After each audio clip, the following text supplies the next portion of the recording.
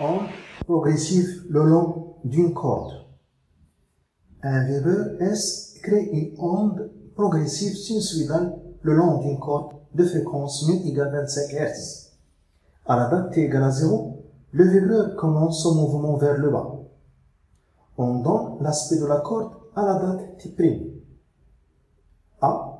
Déterminer graphiquement la longueur d'onde lambda et calculer la célérité v de l'onde.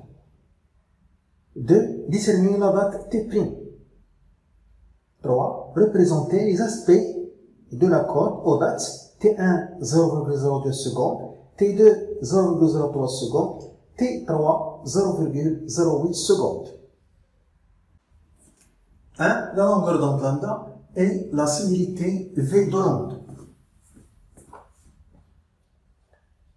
La longueur d'onde lambda et la similité de l'onde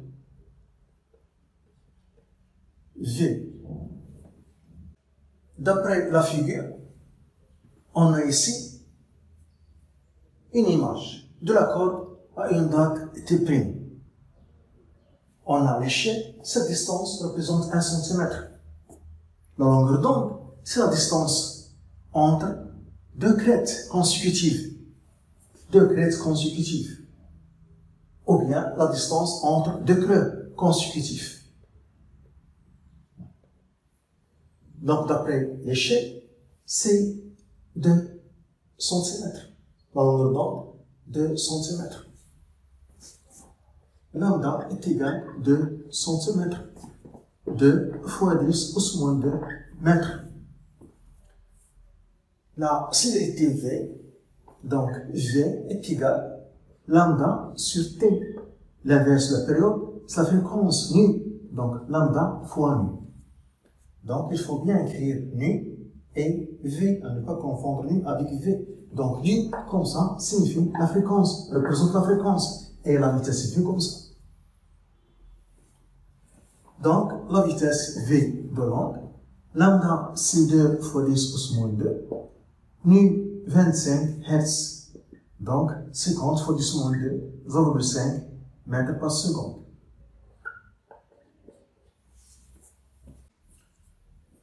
de la date T'.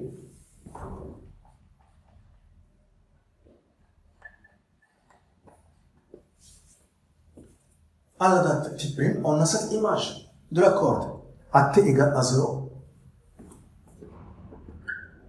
La source S, l'extrémité S de la corde, commence son mouvement vers le bas, à T égale à 0. Et à la date T', le front de l'onde est au point M. Donc, pendant la durée T', l'onde a parcouru la distance Sm. Donc on a la relation V est égale la distance Sm sur delta T. Donc delta T est égal à la distance Sm sur V. La durée, la durée delta T, c'est T' moins 0 est égal à Sn sur V. Donc T' est égal à la distance Sn sur la vitesse V. La distance Sn, donc on peut mesurer la distance en utilisant la règle et l'échelle, ou bien on compte le nombre de longueurs d'onde entre S et N. Il y a une longueur d'onde, deux, trois, quatre. Donc il y a quatre lambda. T' est égal à 4 lambda sur V. Donc, application numérique, 4, lambda 2 cm, position de 1 mètre, donc sur V 0,5. Trois, aspects de la corde. Les aspects de la corde. À la date T1 à la date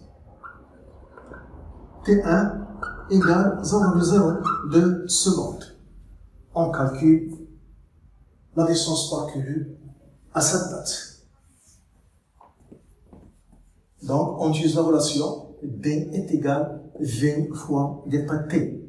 Donc, la distance D1 parcourue à cette date T1, donc c'est V fois T1 moins 0.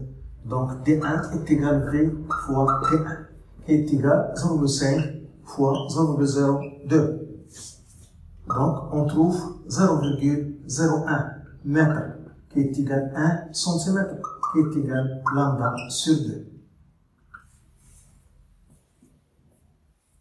Donc c'est ça la distance parcourue à cette date T1, 0,02 secondes. La distance D1 est égale lambda sur 2, c'est la demi, une demi-longueur d'onde. Une demi-longueur d'onde. Donc l'aspect de la corde à sa date T1, une demi-longueur d'onde. Voilà. S. Les autres points sont immobiles. Et le front de l'onde est concave, car à t égale à 0, S commence son mouvement vers le bas. À la date T2,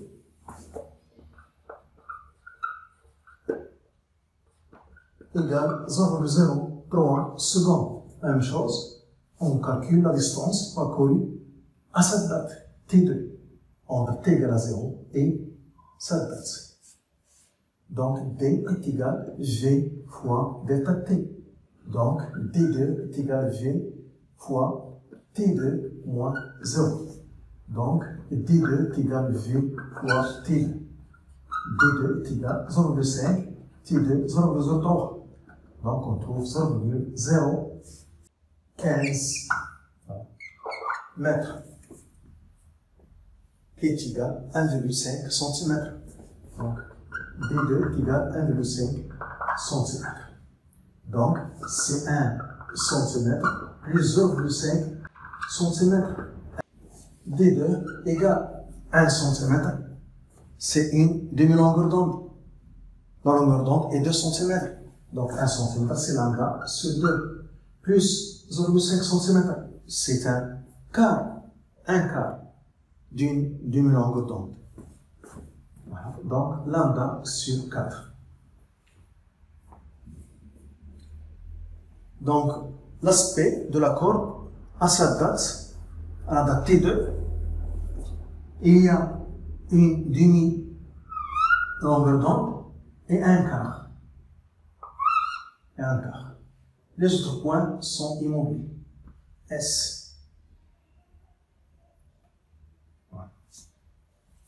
Le front de l'onde est concave car on a dit dans les données que à t égale à 0, S commence son mouvement vers le bas. À la date T3, à la date T3, 0,08 secondes. La même chose, on calcule la distance parcourue à cette date. Donc D est égal G fois delta T. Donc D3 est égal la vitesse V fois l'état T, c'est T3 moins 0. La distance parcourue entre la date T égale à 0 et la date T3. Application numérique 0,5 fois T3 0,08 donc on trouve 0,04 mètres qui est égal à 4 cm qui est égal à 2 lambda. 2 longueur d'onde. L'aspect de la corde à la T3 égale 0,08 secondes. Donc c'est 2 lambda, distance parcourue par l'onde pendant cette durée, à cette date. La distance parcourue par l'onde, c'est 2 lambda. 1 2. Les autres points de la corde sont immobiles. S. Le front de l'onde est concave, car on a dit dans les données que à t égale à 0, S commence son mouvement vers le bas?